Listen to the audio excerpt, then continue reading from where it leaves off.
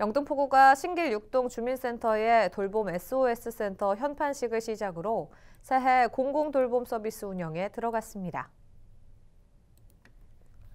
구 돌봄 SOS 센터는 돌봄 서비스 지원 대상을 만 65세 이상 모든 연령의 장애인, 50세 이상 중장년층으로 확대했습니다.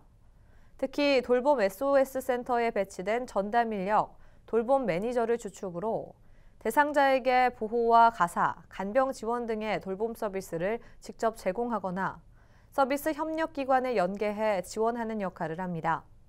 군은 인구 고령화와 가족 구조의 변화에 따른 사회적 변화에 직접 대응할 수 있는 돌봄 서비스를 제공하고 국민이 안정된 삶을 지속할 수 있도록 돕겠다고 밝혔습니다.